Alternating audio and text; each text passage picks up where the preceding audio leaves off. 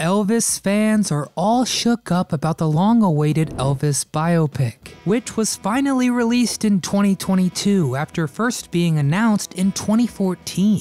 Australian director Baz Luhrmann's film premiered at Cannes, and it received a rave review by none other than Lisa Marie herself. Anyone who's seen a Baz Luhrmann film knows to expect a visually rich film and knows he isn't afraid to reimagine historical facts or put a new spin on some older music. Doja Cat contributed an original song for the film, and the soundtrack's gonna include some new versions of Elvis songs by artists as varied as Eminem to CeeLo Green to Stevie Nicks. And we know loyal fans of any iconic artist are purists who are going to love pointing out inaccuracies. But when it comes to Elvis Aaron Presley, we'll never find out where the facts end and the legend begins. Or will we? W.H. Stratton here with What Happened, and today we're excited to talk about Elvis. There is plenty to love about this film, but 2 hours and 39 minutes isn't nearly enough time to include everything.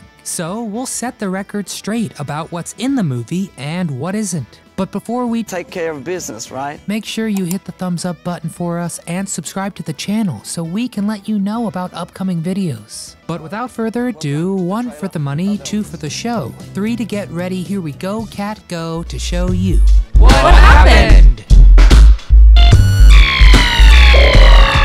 Big blue suede shoes to fill. Elvis impersonation has become an art all unto itself, and 30 year old Austin Butler dons the white jumpsuit in the title role. Of course, other actors were considered for the title role, including Ansel Elgort, Aaron Taylor Johnson, Miles Teller, and the old One Direction frontman and new sensation Harry Styles. But Butler was a good physical match for the king and most critics agree that he handled Elvis's mannerisms well. Robbie Collin from The Telegraph gives Butler's performance a rave review and said that it's not a Presley impersonation so much as Presley via James Dean. But then you have Owen Gleiberman of Variety saying that Butler, quote, looks more like the young John Travolta crossed with Jason Priestley. Baz Luhrmann told Entertainment Weekly that he got a call from Denzel Washington recommending Austin Butler for the role. Denzel had worked with Butler on stage and said that the young actor had an amazing work ethic. We're not sure if that phone call iced the role for him, but we're pretty sure it did not hurt. A legend begins. There are some who'd make me out to be the villain of this here story. We'll be discussing the fat suit and the Colonel's curious accent in more detail later. But the film's first act begins with a young boy in overalls peeking through the walls of a juke joint before he's magically lured by the sounds of a tent revival. Scenes with the young Elvis on stage at the hayride are juxtaposed with images of the even younger Elvis dancing and speaking in tongues. And cue the montage. We'll be talking about Elvis Presley. Which features more crotch shots and more screaming gals. Elvis hits his first note and his pants puff up in response. And if this film isn't a hit, maybe Austin Butler can move on to a career as one of those inflatable guys. I am learning some amazing moves from this guy. But the ladies go crazy and the Colonel sees dollar signs. I wish to promote you, Mr. Presley. The Colonel. Colonel Parker narrates the story on his deathbed, and we finally get the chance to hear his side of the story. Now, Tom Hanks had already encountered Elvis in a previous film, but in a different setting. And we're really interested to see what he brings to the role. He's a real up and comer, this Tom Hanks. He's gonna be big. But Colonel Tom Parker wasn't really a colonel, and he also wasn't really a Tom. He was born Andreas Cornelius van Kalk and immigrated to the US from Holland at the age of 20. The trailer doesn't appear to whitewash any of the details of the controversial promoter. The real Colonel Parker didn't give many interviews, but Ted Koppel interviewed him on Nightline in 2007, 30 years after Elvis's death. Now, I'm not sure Tom has the voice down pat, but maybe it's the fat suit distracting me because it's pretty hard to unsee. And the critics haven't been too kind to Hanks either. Justin Chang from the LA Times called his work, quote, hammy, grating, and unmodulated to a fault. Yikes. David Ehrlich from IndieWire said, quote, Colonel Parker's accent can only be described as the Kentucky Fried Goldmember, further stating that he makes Jar Jar Binks Not really, no, no. seem like Elliott Gould in The Long Goodbye. Okay, okay, okay.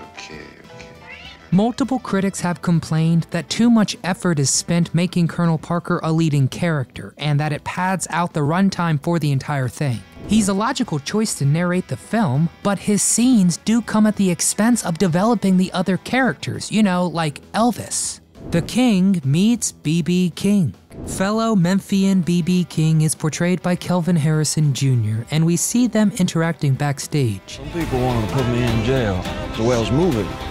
They might put me in jail for walking across the street, but you're a famous white boy.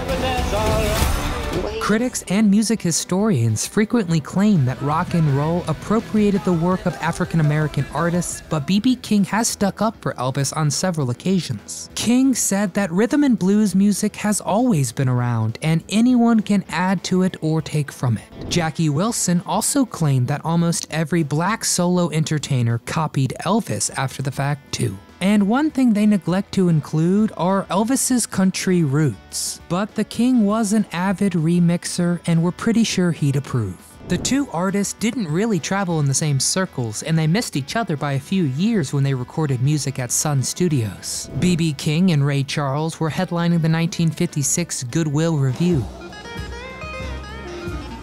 And event organizers reached out to Elvis to perform at the all black show. But Elvis couldn't perform due to contractual obligations. But he appeared at the show to support his heroes. Rufus Thomas brought Elvis on stage for a guest appearance, and the crowd rushed the stage before Elvis was whisked away by police. The way he sings is God given, so there can't be nothing wrong with it. Changing times. Elvis's rise to stardom took place amidst a backdrop of social change, and we hear about the assassinations of both the Kennedy brothers in the film. The only problem was that Bobby wasn't shot at the same time as the taping of the 1968 comeback special. It has nothing to do with us. It has everything to do with us.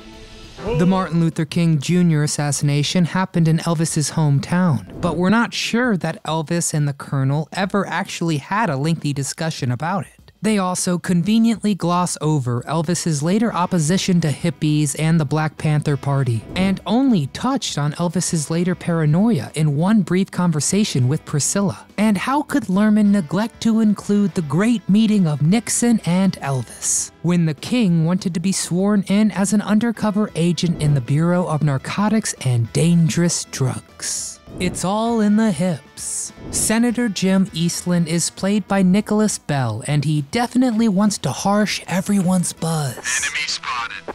In 1956, a Florida judge ordered Elvis to tone down his act before a show in Jacksonville. I mean, come on, it's Jacksonville. You crashed your jet ski into a manatee? Yeah, I'm from Jacksonville, Florida. It happens a lot. Elvis maliciously complied with the judge's order by standing still during most of his performance, but he defiantly waved his finger at the crowd. Elvis's hip gyration was highly controversial in the 1950s, and Ed Sullivan announced his intentions to shoot tight to hide his downstairs movements. It turned out to be an empty threat because Elvis was actually shown head to toe for most of his first two appearances on the show. But it's understandable because prior to Elvis, Sing. Glenn Miller was about as edgy as it got. Priscilla. Australian actor Olivia DeJonge played Priscilla, and singer Lana Del Rey was reportedly considered for the role. Never met anyone like you.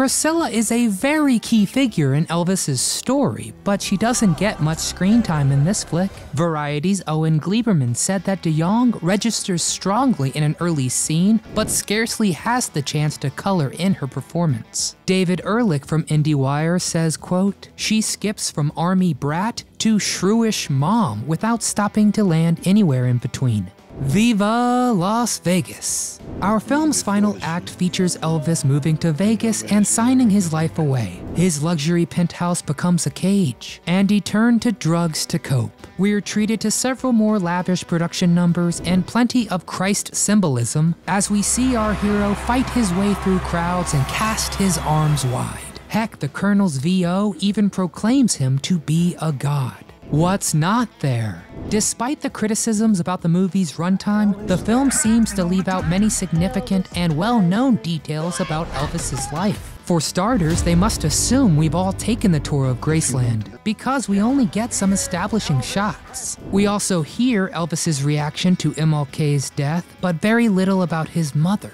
who was such an influential figure in his life. Priscilla is kind of a minor character in this story. And bye bye to Ann-Margret, she's not even included at all.